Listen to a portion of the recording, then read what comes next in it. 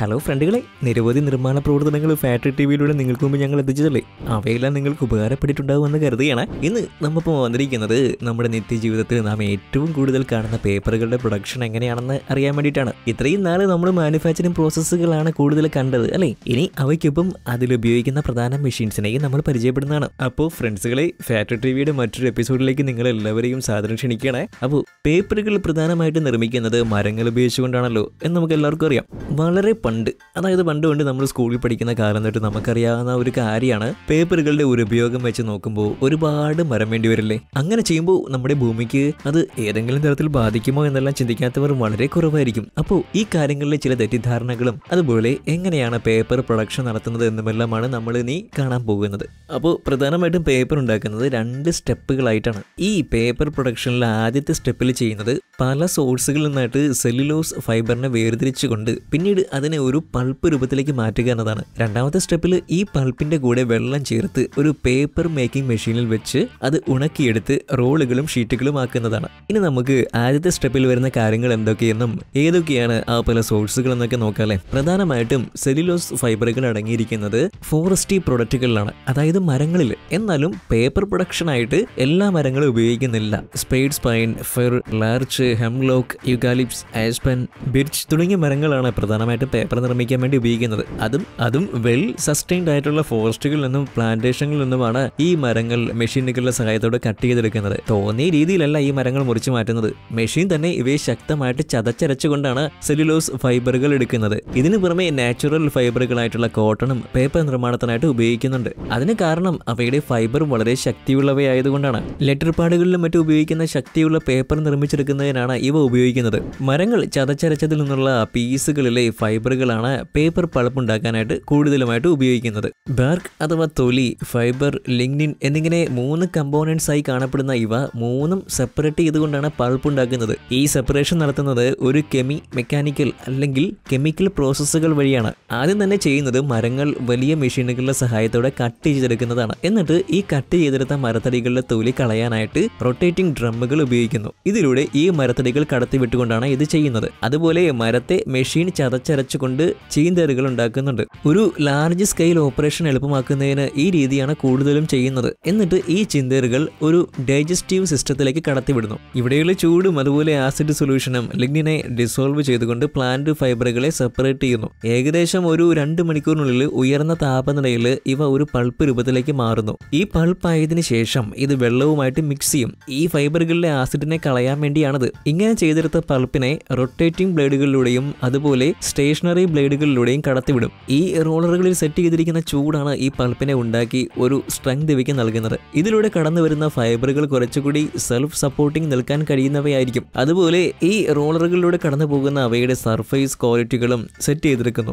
റോളറുകളിലുള്ള പ്രോസസ്സുകളാണ് ഇവയുടെ surface quality set ചെയ്തെടുക്കുന്നത്. ഇങ്ങനെ കടന്നു വരുന്ന പേപ്പറുകൾ ഇൻഫ്രാറെഡ് ടെക്നോളജി ഉപയോഗിച്ചുകൊണ്ട് ലെയർ ബൈ ലെയറുകളായിട്ട് ഒരു വലിയ സ്റ്റീൽ ബൗണ്ടിലേക്ക് ചുറ്റപ്പെടുന്നു. ഒന്ന് മറ്റൊന്നിലേക്ക് എന്ന രീതിയിൽ ഈ പേപ്പറുകൾ പരസ്പരം ചുറ്റപ്പെടുന്നു. ഒരു വലിയ പേപ്പർ ഷീറ്റുകളായിട്ട് ഇത് മാറുന്നു. ഏകദേശം എൺപത് കിലോമീറ്റർ പേപ്പർ ഷീറ്റുകളാണ് ഇങ്ങനെ റോൾ ആവുന്നത്. എൺപത് കിലോമീറ്റർ നീളമുള്ള ഒരു ഷീറ്റിന് എട്ട് പോയിന്റ് അഞ്ച് മീറ്റർ വീതിയും നൂറ്റി ഇരുപത് ടൺ ഭാരവുമാണ് ഉള്ളത്. ഈ പേപ്പറുകളാണ് പിന്നീട് ബുക്കുകളിലേക്കും മറ്റും ഉപയോഗിക്കുന്നത്. പേപ്പർ പ്രൊഡക്ഷൻ പൂർണമായിട്ടും മെഷീനുകളുടെ സഹായത്തോടെയാണ് ചെയ്തെടുക്കുന്നത്. മരം കട്ട് ചെയ്തെടുക്കുന്നത് മുതൽ അത് നോട്ട് ബുക്കിലേക്ക് മാറ്റും എത്തിക്കുന്നത് വരെയുള്ള സകല പ്രോസസ്സുകളും മെഷീൻ ഉപയോഗിച്ചുകൊണ്ട് തന്നെയാണ് ചെയ്യുന്നത്. അതുപോലെ ഉപയോഗിച്ചു കഴിഞ്ഞ പേപ്പറുകളും റീസൈക്കിൾ ചെയ്ത് ഫൈബറുകൾ നിർമ്മിക്കുന്നതിനായിട്ട് യൂസ് ചെയ്യുന്നുണ്ട്. പേപ്പർ പ്രൊഡക്ഷനിൽ നിരവധി മെഷീൻസ് യൂസ് ചെയ്യുന്നതായിട്ട് നമ്മൾ കണ്ടു കഴിഞ്ഞു അല്ലേ? ഇനി ഓരോ മെഷീനുകളെ കുറിച്ചും കുറച്ച് കാര്യങ്ങൾ കൂടി നമുക്ക് അറിഞ്ഞാലോ? ആദ്യമായിട്ട് പൾപ്പ് ഡൈജസ്റ്ററിനെ പറ്റി പറയാം. ഒരു വലിയ വെസൽ പോലെയുള്ള മെഷീനാണ് പൾപ്പ് ഡൈജസ്റ്റർ എന്ന് പറയുന്നത്.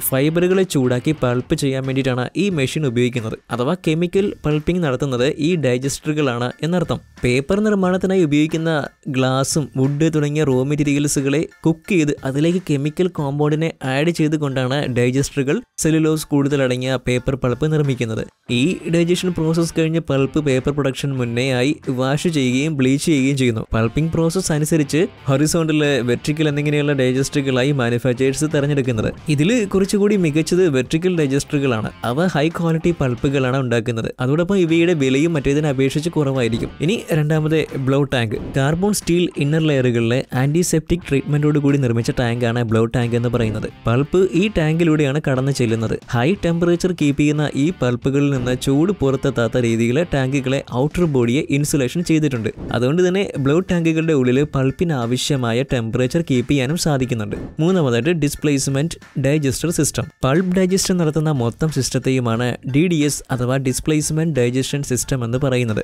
നാം നേരത്തെ പരിചയപ്പെട്ട ഡൈജസ്റ്ററും ബ്ലോ ടാങ്കും എല്ലാം ഈ ഒരു സിസ്റ്റത്തിലെ ഒരംഗമാണ്. ഡൈജസ്റ്റർ ബ്ലോ ടാങ്ക് എന്നിവയെ കൂടാതെ ഒരു storage tank separator heat exchanger filter അടങ്ങിയ ഒരു ഫോം ബ്രേക്കർ പമ്പ് എന്നിവയാണ് ഡി ഡി എസിൽ അടങ്ങിയിരിക്കുന്നത്. ഡിസ്പ്ലേസ്മെന്റ് ഡൈജസ്റ്ററിന്റെ കുറച്ച് ബെനിഫിറ്റുകളാണ് ഇനി നാം പറയാൻ പോകുന്നത്. എന്തുകൊണ്ടാണ് മാനുഫാക്ചേഴ്സ് ഡി ഡി എസ് ഉപയോഗിക്കാൻ കാരണമെന്ന് നമുക്ക് നോക്കാം. വർഷം അൻപത് മുതൽ മുന്നൂറ് തൗസൻഡ് വരെയുള്ള പൾപ്പുകൾ നിർമ്മിക്കുന്ന പേപ്പർ ഫാക്ടറികൾ ഈ ഒരു സിസ്റ്റം ഉപയോഗിക്കുന്നത്. പൾപ്പ് ഉണ്ടാക്കുന്നതിൽ ഏറ്റവും ലേറ്റസ്റ്റ് ടെക്നോളജി അടങ്ങിയവയാണ് ഡിസ്പ്ലേസ്മെന്റ് ഡൈജസ്റ്റർ സിസ്റ്റം ക്വാളിറ്റിയിൽ ഉയർന്നു നിൽക്കുന്ന പൾപ്പ് പ്രൊഡ്യൂസ് ചെയ്യുന്ന ഇവ വാഷിംഗ് ഫംഗ്ഷനിൽ ബിൽട്ട് ആയിട്ടാണ് വരുന്നത്.